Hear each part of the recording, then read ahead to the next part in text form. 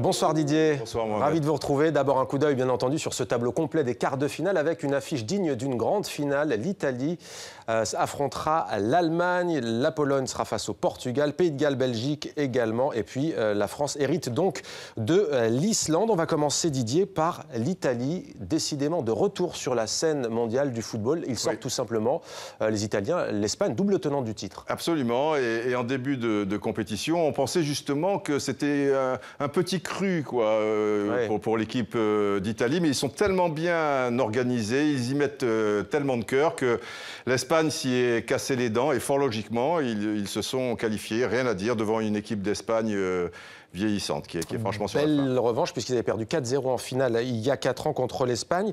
Autre équipe surprenante, on n'a presque plus envie de parler de surprise, Didier, avec l'Islande. Oui, alors ça, ça surprend le, le grand public, mais il faut savoir que l'Islande, euh, dans, dans son groupe éliminatoire, euh, termine deuxième et devant la Turquie et surtout les Pays-Bas, euh, qui a une très très belle génération. Les espoirs islandais, par exemple, récemment ont battu les espoirs français qui étaient menés par Coman actuellement en équipe première, donc 3, buts à 2. Il y a beaucoup de travail qui a été fait en, en profondeur et c'est une équipe très difficile à, à manœuvrer. Alors les Anglais, évidemment, il y a toujours un peu ce, ce complexe de supériorité euh, naturelle puisqu'ils auraient inventé ce sport. A fortiori en menant 1-0 après seulement deux minutes de jeu, donc c'est plié. Mais là, tu te fais égaliser. Peu de temps après, tu prends un deuxième but. Et après, c'est trop tard parce que quand tu es dans la tenaille Ah oui. islandaise, euh, c'est c'est très compliqué. Ils sont très physiques et eux aussi remarquablement organisés. Pour la France, euh, je pense quand même que c'est un bon tirage. Mais il faudra être très vigilant. Très vigilant. Alors, équipe redoutable et, et aussi, euh, alors l'image tourne en boucle un peu partout. Commentateur redoutable, euh, Thierry- euh, Didier, pardon. ah oui, oui, un, un commentateur un petit peu spécial. Il faut savoir qu'il est seul en position commentateur. Donc, si vous voulez mon avis pour les matchs futurs et le Ouais. prochain, ça serait bien d'avoir une doublure pour, pour le laisser un petit peu souffler, parce que lui aussi, comme, comme ses joueurs, il y met beaucoup de cœur. Et, et- et quand il monte en, en aigu, vous allez écouter, j'ai l'impression, alors c'est peut-être pas très joli comme image, mais ça me fait penser, tu sais, les, les- les cochons, quand, quand on veut en prendre un, peut-être même pour lui faire un moumour et qu'il veut pas se laisser faire, et ben il a... crie. On, on va l'écouter. tu- Voilà, ça Ah fait bah, penser à ça, mais peut-être euh, les, les gens euh, penseront à autre chose.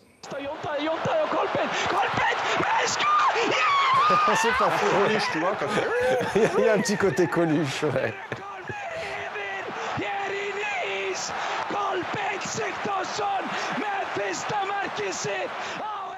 Bon, voilà en tout cas pour ce voilà, commentateur très après, quand- quand commence- Vous l'avez esquissé, donc attention, hein, les Bleus devront être très méfiants, d'autant plus que Didier Deschamps devra se passer de deux joueurs, on va pas dire majeurs, mais euh, tout de même, ça peut perturber. Oui, notamment euh, au, ni- au niveau de la défense, où il faut toujours des, des automatismes entre deux, deux défenseurs centraux. Et l'un d'entre eux est suspendu, euh, Rami. Donc ça va se jouer entre Umtiti, qui a jamais porté le maillot de l'équipe de France, donc émotionnellement c'est très difficile, et qui a jamais joué pour cause aux côtés de Koscielny, ou alors Mangala, qui lui a l'expérience, mais il n'a pas la forme en ce moment. Ouais. Donc rien n'est parfait, et la, la tendance serait de donner la- la- sa chance à Umtiti. C'était l'instant Roustan. Merci Didier.